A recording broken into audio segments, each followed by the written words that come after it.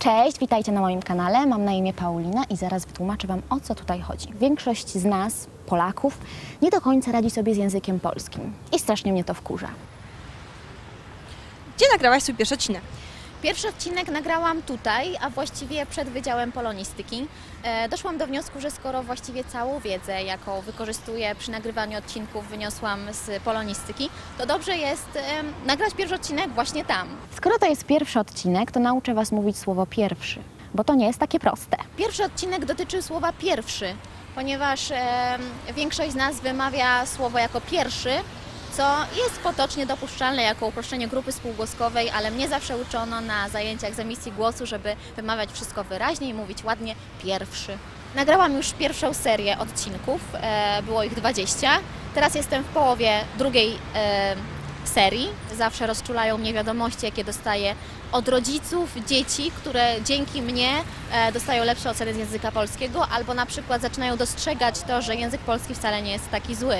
E, no i nie ukrywam też, że mm, bardzo pozytywnie wpływają na mnie sytuacje, kiedy zostaję rozpoznana na ulicy i ludzie potrafią mnie przytulić, pogratulować i trzymają za mnie kciuki.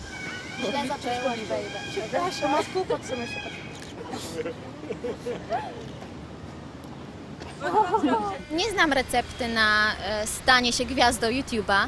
E, Według mnie najważniejsze to osobowość. To znaczy, dobrze, można mieć fajny pomysł, oryginalny pomysł i to jest na pewno e, w pewnym sensie klucz do sukcesu, ale jeżeli za tym nie będzie szła charyzma, ciekawa osobowość, to niestety ten kanał jest skazany na klęskę. Wkurza mnie też to, że niektórzy twierdzą, że ja nie mam racji. Ja nie mam racji.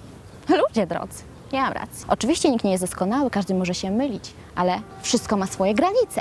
Stąd ten kanał. Największe gwiazdy rzeczywiście mogą z YouTube'a wyżyć, ja niestety jeszcze nie, ale mam nadzieję, że to się niedługo zmieni. O czym nagrywasz? O języku polskim. Ja zazwyczaj nagrywam w różnych miejscach. Wolę, żeby sceneria za moimi plecami się zmieniała, wtedy w jakiś sposób zaskakuje widzów. Próbowałam nagrywać na tle książek, ale to zupełnie nie grało z moim temperamentem. Było za spokojnie, za smutno. Ja się też dobrze w tej scenerii nie czułam.